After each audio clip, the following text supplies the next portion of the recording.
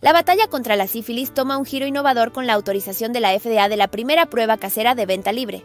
Con más de 207.000 casos en 2022, la cifra más alta desde 1950, la detección temprana es crucial.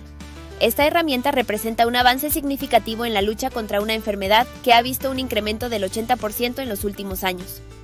La sífilis, una infección provocada por la bacteria Treponema pallidum, avanza en fases, cada una con síntomas distintivos, desde úlceras indoloras hasta erupciones cutáneas y fatiga, sin tratamiento, puede causar daños irreversibles como ceguera y demencia.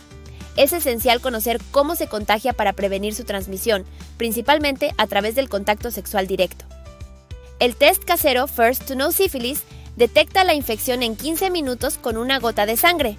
Su disponibilidad fomentará la detección precoz y el tratamiento oportuno, reduciendo la propagación.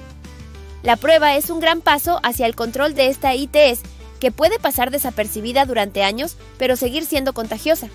Además, puede ser especialmente útil para quienes evitan consultas médicas. A la espera de su lanzamiento en la segunda mitad de 2024, la prueba casera promete ser una solución accesible, con un precio estimado de 29.98 dólares. Su efectividad del 93.4% es un rayo de esperanza para la detección temprana, previniendo complicaciones graves y protegiendo la salud de futuras generaciones, las mujeres embarazadas también se beneficiarán, evitando la transmisión al bebé,